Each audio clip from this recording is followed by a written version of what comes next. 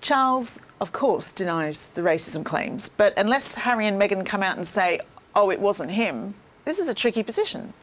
It really is. I mean, that was the thing about this Oprah interview, and this was probably the worst of their allegations. It was, it really was like a sort of bombshell on a timer, which mm. um, they could sort of detonate whenever they like.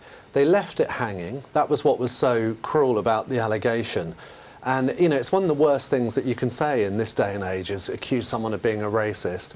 And just to put it out there and, and leave it hanging. And they made it worse by narrowing down the suspects a bit. They, they, said they wanted to make it clear that it wasn't Prince Philip, who was very ill, who was in dying at the time of their interview, and it wasn't the Queen. But they made clear it was senior royals.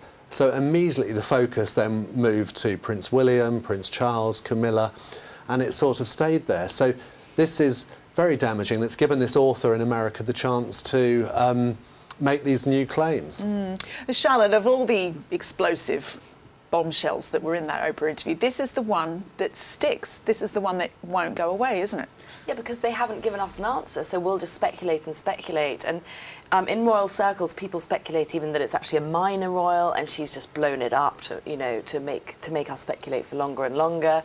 And then there's the, the idea that it could be a very senior royal, like Prince Charles, who has said it's fiction.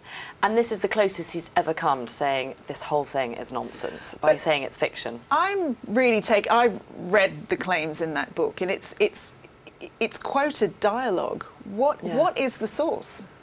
I'm not familiar with this this author, but I am sceptical about this book. I must say. Um, it, yeah, it just gives anonymous sources. Mm. Um, and it reports a conversation. It says Charles said yes, to Camilla this, and Camilla said to Charles I mean, that. How, that's how can anyone know? Yeah. yeah. I mean, Charles is right to say that that bit is fiction. It can only be fiction. It's written like a story.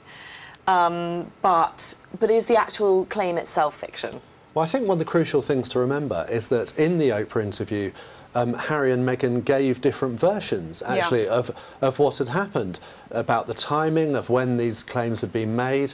And it seemed like they, they hadn't really been clear about what they wanted to say, and it was just thrown out there.